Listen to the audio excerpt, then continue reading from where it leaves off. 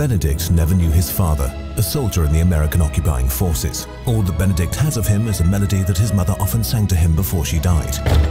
When Benedikt hears that the Vienna Boys Choir will be touring America, he decides to become a choir boy in order to find his father. But here too, he's met with prejudice and hate. The Jewish conductor, Max, takes Benedikt under his wing and makes it clear to the choir boys, every single one of you is special. No one is a stranger if we don't want him to be.